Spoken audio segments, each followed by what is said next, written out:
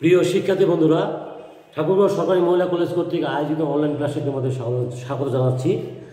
আজকে আমি গত ক্লাসে তোমাদেরকে পড়েছিলাম যে সিজিএস পদ্ধতিতে বোর মডেল প্রয়োগ করে কীভাবে হাইড্রোজেন পরমাণু বা হাইড্রোজেন নয় আয়নের এনতম কক্ষপথে ব্যাসার্ধ নির্ণয় করা যায়।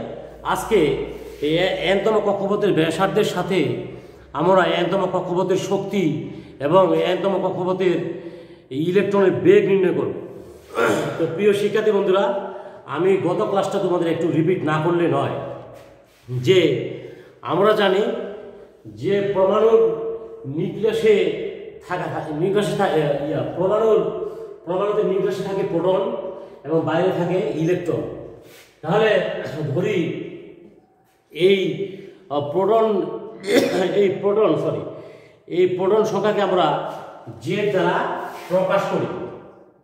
এবং এই প্রোটনের চার্জ যেহেতু ইলেকট্রনের চার্জের সমান, এই কারণে এর মোট চার্জের পরিমাণ হবে জেড ই তাহলে এই জেডি পরিমাণ চার্জ একটি ইলেকট্রনকে তার কেন্দ্রের দিকে আকর্ষণ করে। সে সেটাকে আমরা বলি কেন্দ্রমুখী আকর্ষণ বল। আবার ইলেকট্রন নিউক্লিয়াসের চারদিকে ঘূর্ণায়নের ফলে সে ছিটকে বের হয়ে চলে যেতে চায়। এইটাকে আমরা বলি কেন্দ্র বিমুখী বল। আমরা যদি কোনো সুতার প্রা- প্রান্তিক পর্যায়ে কোনো একটি ভারী বস্তু বেঁধে দিয়ে যদি চারপাশে ঘুরাই, তাহলে আমরা দেখব যে বস্তুটা বাইরের দিকে চলে যেতে চাই এইটাই হলো কেন্দ্র বিমুখী বল। যেহেতু এটা একটি চার্জিত করে এটা একটি চার্জিত করা তাহলে এই কেন্দ্রমুখী আকর্ষণ বলের মান হবে কুলম্বের সূত্র অনুযায়ী। আমরা কুলম্বের সূত্র অনুসারে জানি যে ইলেকট্রোস্ট্যাটিক আকর্ষণ বল সমান কে সিজিএস পদ্ধতিতে K, q one, q two, ভাগ ডি স্কোয়ার ডি স্কোয়ার বলতে দূরত্ব। এখানে এখানে ডি স্কোয়ার বলতে হবে r, q one, q two বলতে হবে ইলেকট্রনের চার্জ এবং নিউক্লিয়াসের চার্জ। তাহলে কেন্দ্রমুখী আকর্ষণ বল জেড ই, এটা কিউ ওয়ান, আর ই হচ্ছে কিউ টু, আর ডি স্কোয়ার মানে আর, এই যে দূরত্বটা, এটা হচ্ছে বর্গ। তাহলে কেন্দ্রমুখী আকা আকর্ষণ বল আমরা পাইলাম জেড ই স্কোয়ার। আবার এই ঘূর্ণনের ফলে কেন্দ্র বিমুখী আকর্ষণ বল, এটাকে যদি আমরা এফ প্রাইম দ্বারা প্রকাশ করি, তাহলে সেটা হবে এম বি স্কোয়ার ভাগ আর অর্থাৎ ইলেকট্রনের বেগ ভাগ দূরত্ব। তাহলে আমরা জানি এই কক্ষপথে স্থির কক্ষপথে যখন ইলেকট্রন ঘুরবে, তখন তার কেন্দ্রমুখী আকর্ষণ বল এবং কেন্দ্র বিমুখী আকর্ষণ বলের মান সমান হবে। তাহলে সেক্ষেত্রে আমরা লিখতে পারি যে স্থির কক্ষপথের ক্ষেত্রে কেন্দ্রমুখী আকর্ষণ বল সমান হচ্ছে কেন্দ্র বিমুখী আকর্ষণ বল। তাহলে আমরা এখানে এক এবং এক প্রাইমের মান বসিয়ে আমরা ভি স্কয়ারের মান পাই যে ভি স্কয়ার ভাগ হচ্ছে এম আর এই গেল এইটুকু। ভি স্কয়ার মান আমরা এটা একটু মনে রাখব, এটা সমীকরণ নাম্বার এক। এবার আসি আমরা যে বোরের অনুসিদ্ধান্ত মতে ঘূর্ণায়মান ইলেকট্রনের কৌণিক ভরবেগের মান হবে এনএস ভাগ চুয়াশ এর সরল গুণিতক বা সমান। এখানে এন হচ্ছে কক্ষপথের সংখ্যা এবং একটি পূর্ণ সংখ্যা, এক, দুই, তিন, চার ইত্যাদি। তাহলে বোরের কৌণিক ভরবেগের সূত্র অনুসারে আমরা জানি এম ভি আর সমান এনএস ভাগ চুয়াশ পাই বা ভি সমান আমরা পাই এনএইচ ভাগ টু পাই এখানে আমরা এম আর নিয়ে আসলাম। অতএব ভি স্কোয়ার যদি আমরা বড় করি, তাহলে এটা হবে n square h square four pi square m r দুইটা হবে। এই এম আর এম আর বা এটা আমরা বর্গ হিসাবে লিখতে পারি। তাহলে ভি স্কোয়ার সমান আমরা পাই n square h square four pi square m r m r প্রিয় শিক্ষার্থী বন্ধুরা, এখন আমরা যদি এই ভি স্কয়ারের মান দুই নং সমীকরণ হতে যদি আমরা এক নং সমীকরণে বসিয়ে দেয়, বসিয়ে দেই, তাহলে আমরা কি পাই? আর তাহলে আমরা আর এর মান পাই। এই আর এর মান হচ্ছে n square h square four pi square m z e square m z e square এই আর এর মান। গত ক্লাসে তোমাদের আমি এই আর এর মানের পর্যন্ত পড়াইছিলাম প্রিয় শিক্ষার্থী শিক্ষার্থী বন্ধুরা, আজকে ওটার একটু সম্প্রসারিত রূপ পড়াবো, যে ধরি এটা হলো এই আর মান হচ্ছে একতম কক্ষ কক্ষপথে ব্যাসার্ধ আর এম সমান এন স্কয়ার, এইচ স্কয়ার ভাগ four pi square, m z e square. এটুকু আমরা জানি। তাহলে যদি এটা প্রথম কক্ষপথ হয়, তাহলে এখানে এন এর মান কি হবে? প্রথম কক্ষপথের ক্ষেত্রে প্রথম কক্ষপথের ক্ষেত্রে, প্রথম কক্ষপথের ক্ষেত্রে এন এর মান হবে ওয়ান। তাহলে আমার এই এই যে অন্যান্য রাশিগুলা এইগুলো রাশি সম্পূর্ণ হচ্ছে কি? ধ্রুব রাশি। ধ্রুব রাশি শুধুমাত্র এখানে এন এর মানটা পরিবর্তন হবে। ওয়ান স্কোয়ার ওয়ান স্কোয়ারকে বড় করলে আমরা ওয়ান এই পাই, যে সেজন্য আমি ওটা তোমাদেরকে সরাসরি লিখে দিছি। এই যে প্রথম কক্ষপথে ক্ষেত্রে আর এর মান হবে h square four pi pi square m z e square প্রিয় শিক্ষার্থী বন্ধুরা, তাহলে আমরা যদি এই আর কক্ষপথকে আর এন কক্ষপথ দ্বারা আর এন কক্ষপথকে যদি আমরা আর ওয়ান কক্ষপথ দ্বারা ভাগ করি, তাহলে আমরা দেখতে পাই যে এই সব রাশিগুলো কাটাকাটি গিয়ে শুধুমাত্র এন স্কোয়ার থাকবে। তাহলে আর এন সমান n n square r one into n square অথবা আমরা লিখতে পারি n n square r one এই সমীকরণ থেকে আমরা কি বুঝতে পারি? যে প্রথম কক্ষপথ এই যে দ্বিতীয় কক্ষপথ তাহলে প্রথম কক্ষপথ অপেক্ষা দ্বিতীয় কক্ষপথ ক- কত গুণ আহ, তার তার সে কতগুণ বড় সেটা আমরা সহজেই বের করতে পারি। এটা কিন্তু তোমাদের এমসিকিউ প্রশ্নে এটা কিন্তু বারবার আসে। তাহলে এই- ক্ষেত্রে আমরা যে প্রথম কক্ষপথের সাথে একদম কক্ষপথের সম্পর্কের মান যদি আমরা জেনে থাকি তাহলে খুব সহজেই আমরা এই আহ, প্র- প্রথম কক্ষপথ দ্বিতীয় কক্ষপথ অপেক্ষা কত কত গুণ বড় সেটা নির্ণয় করতে পারি। যেমন আমরা জানি আর এন সমান এন স্কোয়ার আর ওয়ান তাহলে প্র- প্রথম কক্ষপথের ক্ষেত্রে এন ওয়ান মান হচ্ছে কি? প্রথম প্রথম কক্ষপথের ক্ষেত্রে r n equal to r one আর যখন আমি দ্বিতীয় কক্ষপথ এন টু হবে তখন দেখো আর এন এর আর এন বদলে এখানে আর ওয়ান এখানে হবে এন টু তাহলে এখানে আমরা পাবো এখানে টু বসাই দেবো। টু স্কোয়ার আর ওয়ান তার মানে ফোর আর ওয়ান তাহলে প্রথম কক্ষপথ প্রথম কক্ষপথ তুলনায় দ্বিতীয় কক্ষপথ চার গুণ বড়। তাহলে যদি আমরা তৃতীয় কক্ষপথ দেখি, তাহলে এখানে কি হবে? থ্রি স্কোয়ার তার মানে নয় গুণ। তাহলে তৃতীয় কক্ষপথ প্রথম কক্ষপথ অপেক্ষা নয় গুণ বড়। প্রিয় শিক্ষার্থী বন্ধুরা আমাদের আজকে এই যে আর এর মানটা আর এর মানটা আমরা ব্যবহার করে এনতম কক্ষপথের একটি ইলেকট্রনের শক্তি নির্ণয় করব। প্রিয় শিক্ষার্থী বন্ধুরা, কোনো ইলেকট্রনের শক্তি বলতে আমরা বোঝাই ইলেকট্রনের গতি শক্তি প্লাস ইলেকট্রনের স্থির শক্তি বা বিভব শক্তি। এখন আমরা এনতম কক্ষপথে ইলেকট্রনের মোট শক্তির মান বের করব। তাহলে এটা কীভাবে বের করব?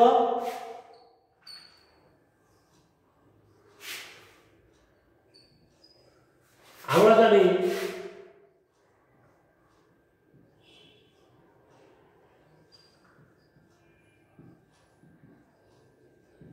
ইলেকট্রনের শক্তি সমান হচ্ছে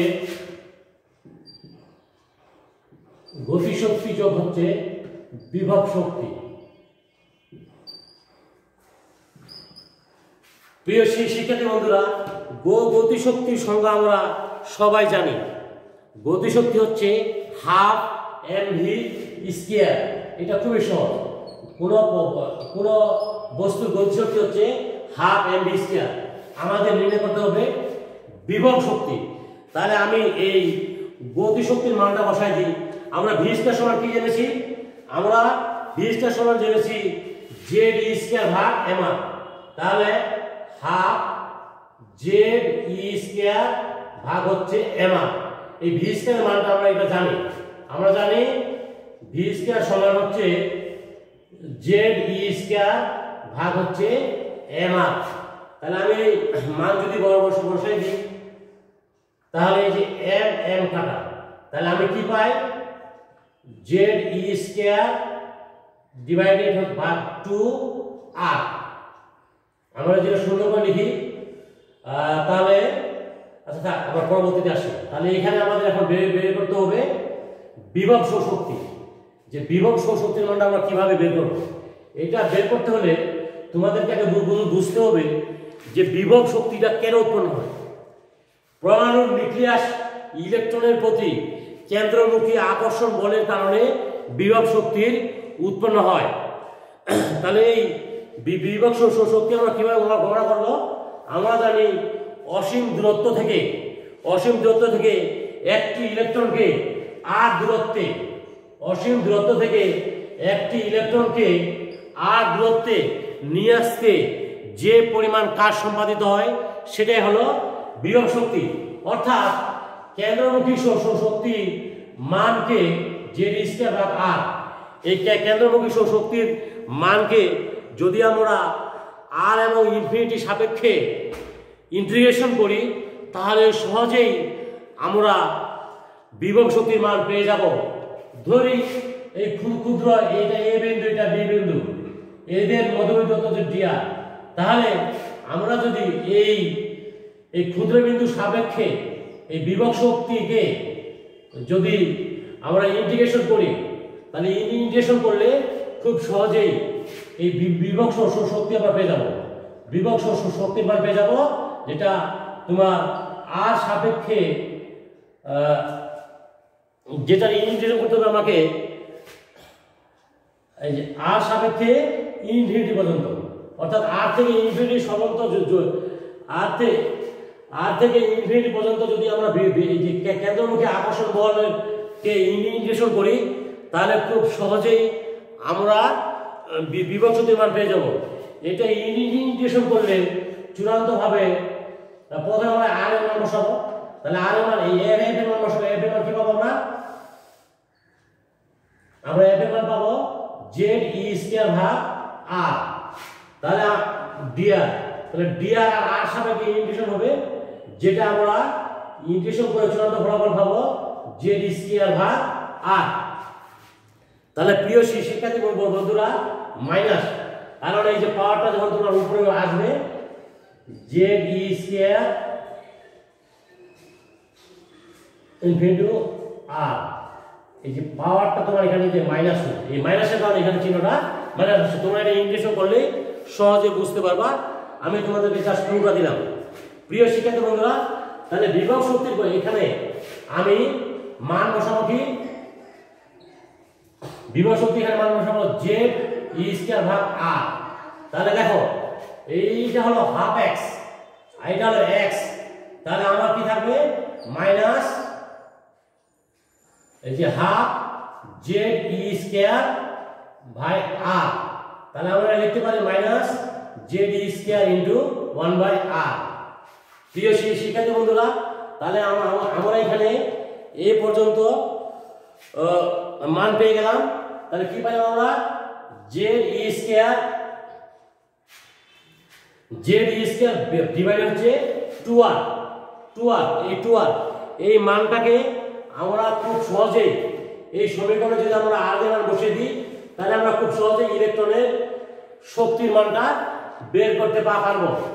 তাহলে এবার আমরা এই সমীকরণে আর এর মান বসিয়ে পাই। এই সমীকরণে আর এর মান বসিয়ে পাই। তাহলে মোট শক্তি যদি আমরা এক যদি ইয়ান দ্বারা প্রকাশ করি, তাহলে কি পাই আমরা? Z e square divided two into one by r এটা তো পাইলাম। এখন এই সমীকরণে আমরা আর এর মানটা কি করব? বসিয়ে দিব। তাহলে z e square two into আমরা দেখো, গত সমীকরণে আমরা আর মান বের করছি এন স্কয়ার এই এই এন স্কয়ার এই এই h square divided four pi square m z square তাহলে আমরা পাই one by n square h square four pi square m z e square এই আর আর মান বসিয়ে দিলাম। তাহলে সামনে কিন্তু মাইনাস আছে, এটা কিন্তু ভুলবা মাইনাস কিন্তু আছে সব সবসময়, খেয়াল রাখো। তাহলে মাইনাস জেড ই স্কয়ার ভাগ টু ইন্টু এটা যখন দিব তখন উপরে চলে যাবে। Four pi square m z e square ভাগ হচ্ছে এন স্কয়ার এই এইচ স্কয়ার তাহলে প্রিয় শিক্ষার্থী বন্ধুরা, তাহলে আমরা দুই দুইয়ের চার, আর এখানে আর এখানে কাটানো তেমন কিছু নেই। তাহলে আমরা চূড়ান্তভাবে কি পাই দেখো? Minus two pi square, two pi square, m, z square, e to power four ভাগ এন স্কোয়ার, এইচ স্কোয়ার। এই সমীকরণের সাহায্যে আমরা খুব সহজেই, এই সমীকরণের সাহায্যে আমরা খুব সহজেই ইলেকট্রনের বিভব শক্তির মান বের করতে পারি। তাহলে প্রিয় শিক্ষার্থী বন্ধুরা আর এইটাই হলো এন ধরো কক্ষপথে ইলেকট্রনের শক্তি নির্ণয় সমীকরণ। এখন যদি এটা কক্ষপথ ওয়ান হয়, তাহলে এখানে শুধু এন এর মানটা চেঞ্জ হবে। সব কিছু স্থির থাকবে। তাহলে কি হবে? Two pi square m z square e four আর এখানে শুধু হবে এইচ স্কোয়ার তাহলে অতএব এই এক ধরনের কক্ষপথের সাথে যদি প্র- প্রথম কক্ষপথ আমরা ভাগ দিই, তাহলে আমরা যে মানটা পাই, সেই মানটা তোমরা একটু চেষ্টা করবা। আর না হয় আমি বলে দিচ্ছি তোমাদের যে এনতম কক্ষপথের শক্তির সাথে প্রথম কক্ষপথের শক্তির সম্পর্ক কি হবে? তাহলে এটা হবে ওয়ান বাই এন স্কোয়ার অতএব আমরা লিখতে পারি ই এন সমান সমান one by n square e into e one এটাই হলো এনতম কক্ষপথের ইলেকট্রনের শক্তির সাথে প্রথম কক্ষপথের ইলেকট্রনের শক্তি নির্ণয়ের সমীকরণ। প্রিয় শি- শিক্ষার্থী বন্ধুরা, আমরা পরবর্তী ক্লাসে এনতম কক্ষপথের ইলেকট্রনের বেগ নির্ণয় করব। ধন্যবাদ সবাইকে।